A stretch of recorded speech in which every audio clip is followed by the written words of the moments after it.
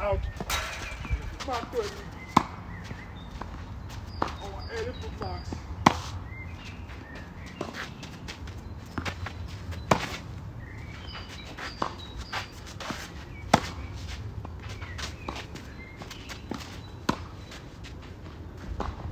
Out of